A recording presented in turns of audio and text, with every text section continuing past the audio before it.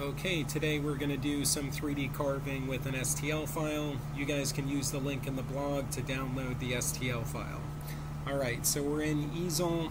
We have our material size set up. We're going to come over here to import and we're going to choose 3D STL. Uh, from there you'll be able to pick the folder that you want and the file. We're going to work with skull number 3. Okay, so from here we're positioning the part, so we want it on top and we want it centered, okay, and this is where we can adjust the scale of the part, so we're going to link the size and we're going to make this 4 inches and that should scale the other one appropriately, and then we're going to center in the material.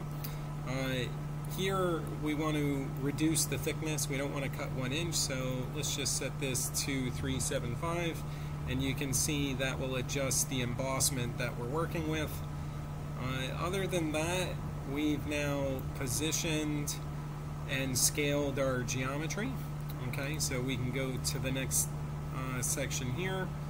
Uh, this is going to give us some different types of uh, cutting routines. So we're going to say model boundary relief.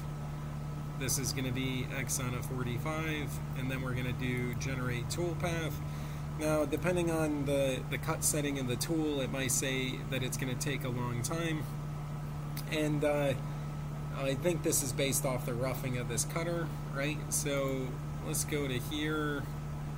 I really don't want to rough it, to be honest. I just want to do a finish routine, and I'm not sure how to remove the, uh, and just do the finish.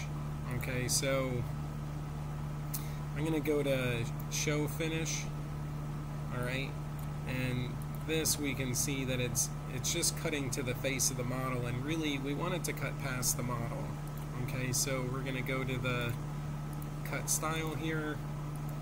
Let's go to rectangular okay? So now we're boxed in. Let's go ahead and generate toolpath continue anyways. So again it's doing kind of a rough and finish. Uh, this looks like the finish routine, and that's the roughing routine. So yeah, this is going to end up taking a really long time. What I really want to do is I just want to do a finish routine, but I want the toolpath to go out to the boundary that's there. And currently I'm unsure how to do that. But uh, if you run both a rough and finish, uh, it will do kind of like a pocket routine to come in there and rough things out. You can go to your your tool here uh, I'm sorry, let's go to our cut settings on our roughing. We're going to go to manual. We're going to set this to, uh, this is going to be 50 and 50. Step over, this is fine. And then really for the depth of the cut, it's going to depend on the material. But let's just set this to 125. Alright, and then over here, this one we're going to set to 50 and 50 and we're going to set this to 10%.